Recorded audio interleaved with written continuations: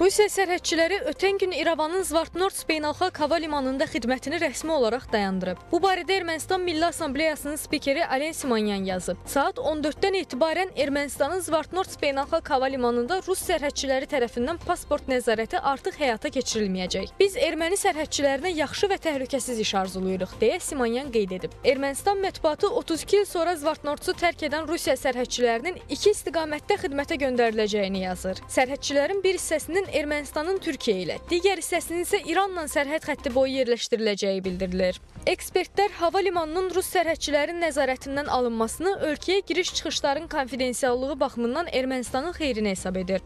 Ermənistanda Amerika Birləşmiş Ştatlarının hərbi təlimlərin keçirilməsi, bundan öncə e, sülh məqamlı missiya, e, müşahidəçi missiyası altında gələn kontingentin say tərkibi, onların kimliyi, ixtisası aşkarlanırdı. Yəni əslində dərin mahiyyəti aşkarlanırdı.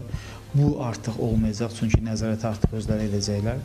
E, Fransadan göndərilən texnikaların təlimatçıları və s.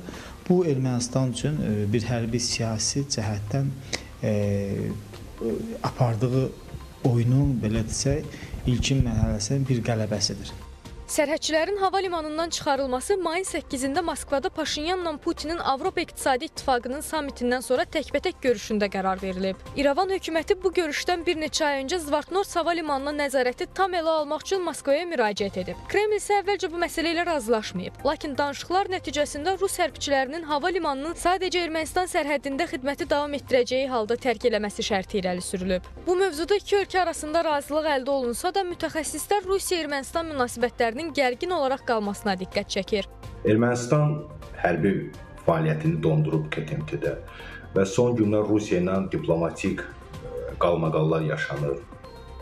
Rusiya Ermənistanda səfirini geri çağırıb, hələ də orada müvəqqəti işlər üzrə müvəkkil həyata keçirir. Yəni bütün bunlar Rusiya Ermənistan arasında pik həddə çatmasa da müəyyən narazılıqlar yaradır. Amma bundan sonrakı Rusiyanın Ermənistanda fəaliyyəti asılı olacaq hər iki dövlətin atacağı addımlardır. Analitiklərin fikrincə sərhədçilərin Zvartnorsdan çıxarılmasından sonra rəsmi İrəvan üçün əsas prioritetlər İran və Türkiyə ilə sərhədlərinin mühafizəsinin Rus hərbçilərindən alaraq həmin yerlərə öz qoşunlarını yerləşdirməkdir. Gedən bu proseslər onu deməyə əsas verir ki, Paşinyan administrasiyası yaxın gələcəkdə Rusiyanın Gümrüdəki 102-ci bazasının da ölkədən çıxarılması istiqamətində fəaliyyətə başlayacaq.